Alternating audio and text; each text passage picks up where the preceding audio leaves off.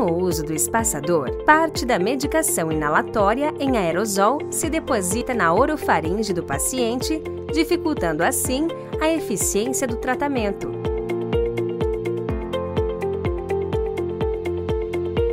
Com o espaçador H-chamber, o paciente faz uso da medicação enquanto respira normalmente. Ao inalar o produto através do espaçador H-chamber de 5 a 10 segundos, as partículas chegam de forma eficiente até os pulmões, garantindo assim um tratamento adequado.